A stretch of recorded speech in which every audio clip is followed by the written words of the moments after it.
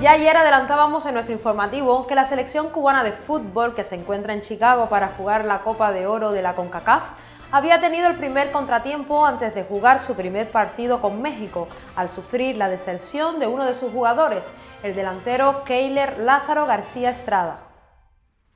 A pesar de que el resto de la plantilla entrenó muy duro para dar un buen partido en su presentación ante México, el conjunto cubano cayó por 6 a 0 en un partido en el que México dominó ampliamente y abrió el marcador a los 17 minutos cuando Peralta, que destacó con un triplete, definió de zurda tras controlar dentro del área un pase de guardado con la cabeza.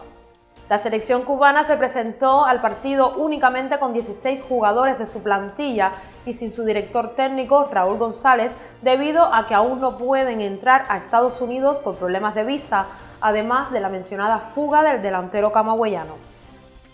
La segunda jornada del Grupo C se disputará el domingo cuando Trinidad y Tobago enfrente a Cuba y México juegue ante Guatemala en el estadio de la Universidad de Phoenix.